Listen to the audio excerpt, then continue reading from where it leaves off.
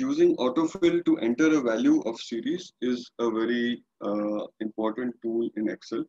This is where Excel autofills a certain pattern into your data, which you have already, I mean, which you have started to enter. That certain pattern would be some uh, preloaded uh, patterns which are already in Excel or some customized patterns which you will have to load into Excel. Let me start with a very simple example. I say one, three, let's say, uh, and let me come at this box at the bottom and let me start copying. Please note what happens. The computer selects the pattern between one and three is a gap of two and it starts using that pattern. So this is known as the autofill feature. Now, for example, here, let me delete this data.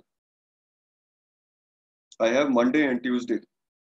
A pattern has been identified.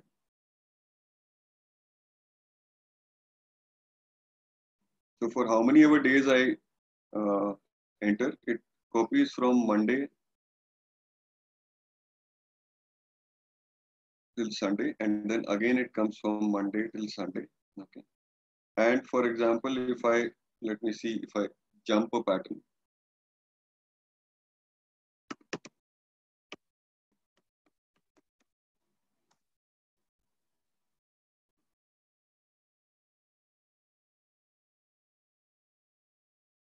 Monday, Wednesday, Friday, Sunday, Tuesday, Thursday, Saturday, Monday, Wednesday.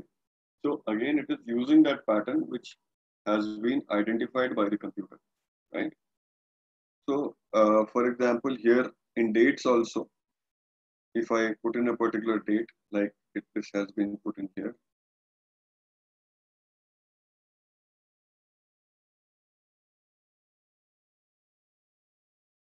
this is automatically copied the date by itself. In some cases where even you put in one entry,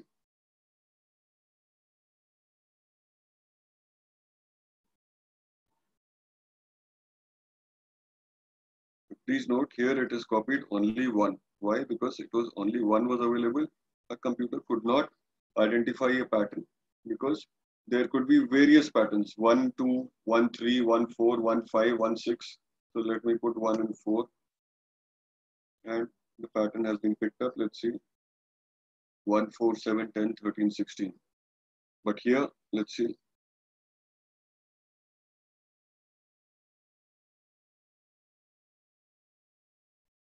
Here, if you see, since the date, generally the pattern is that it, uh, the next day happens after 1st September, you obviously get 2nd September. But after this number series, there is no guarantee that you will get 4. It could be any number. So the pattern has not been accepted. So for Monday, for example, if I delete this,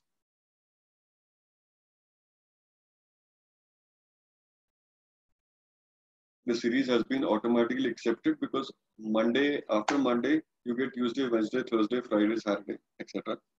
Right? Now let's let's look at this. Uh,